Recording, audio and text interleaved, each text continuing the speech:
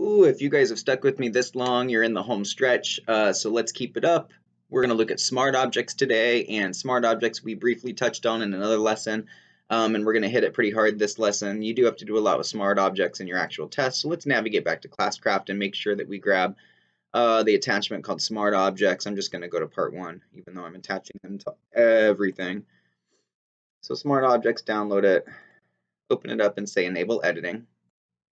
Let's go ahead and kill the last document that we were working on. Don't save it just in case we want to play around with it later. And uh, if you look at the smart objects document here, um, there's uh, actually a couple pieces of smart art already um, in here that we're going to be modifying. Um, and let's go ahead and take a look at this. Number one, rearrange the text in the smart art graphic so that the chorus is above pH balance. Um, so let's look right here is our smart art and we know it's smart art if we click on it it'll actually say Smart Art Tools up at the very top. And notice how in Smart Art Tools we actually get Design and we get Format tabs. All right. So it says it just wants us to rearrange so that Khoros is above pH balance. And what I always see my students doing is like clipping or cutting and pasting and trying to move one thing. So just look at your bulleted list here and click right beside where it says Khoros. And under the Design uh, tab, um, you can say Move Up. And I think you can also just right click and say Move Up. All right, so chorus is now above pH. All right, so we can rearrange um, our shapes and our smart art um, just by clicking. Uh, cut the heading monthly te testing and paste it above the list that begins with alkalinity levels. So cut, just as this is just a cut and paste kind of thing. Um, monthly testing, cut the heading that begins with monthly testing. Oh, right here. It wants us to move this heading and put it right here. So there's a, a lot of different ways to move text. Um, I'm just going to select this one right here. I'm going to right click and say cut. I'm going to click over here uh, in this little space above alkalinity levels and I'm going to select paste. And now there's three different options for pasting. One of them will allow you to keep the source formatting so it'll look exactly like it did when you cut it. And then this last option right here will actually remove all the formatting so you can just have text only.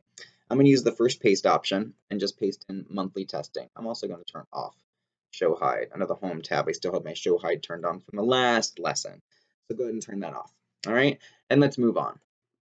Um, locate the list that begins with alkalinity levels and change the numbering to uppercase letters ABC instead of bullets. All right, so right here, instead of bullets, they want us to use a numbered list, but they don't want us to use just any numbered list. Your numbered lists are right here. Here's your bullets.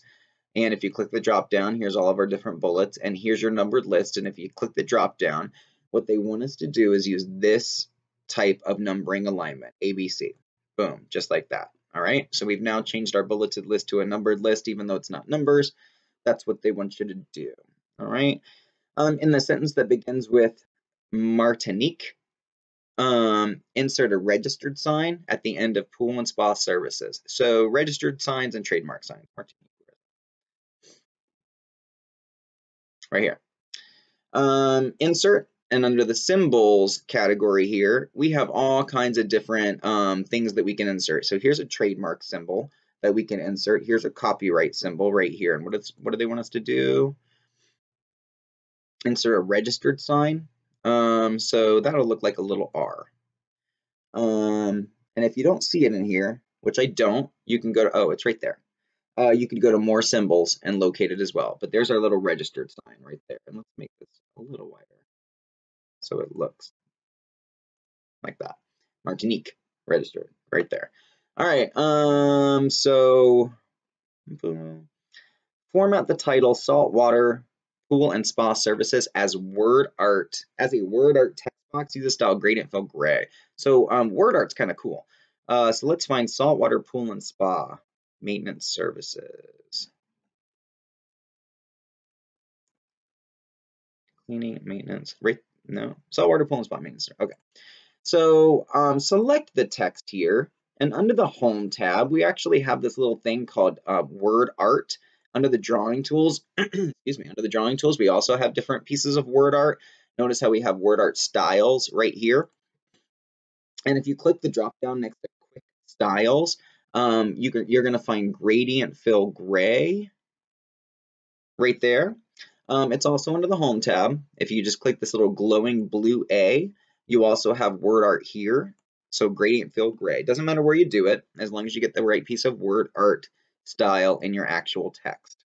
All right, and that's all we have to do with um, SmartArt. I also just want to go over a couple of things with SmartArt. Remember that if you want to delete SmartArt, the quickest way to delete SmartArt is just open up your bulleted list here by clicking on the little arrow beside your SmartArt and um, backspacing to delete a bullet.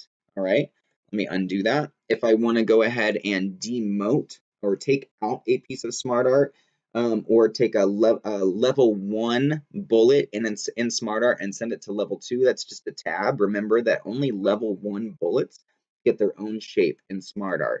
So if you click on the bullet and you press tab, um, notice how it actually takes it down and gets rid of the shape because it's no longer a level one bullet. I've now demoted this bullet to a level two. If I press shift tab, I'm going to promote it back up to a level one bullet and level one bullets get their own shape.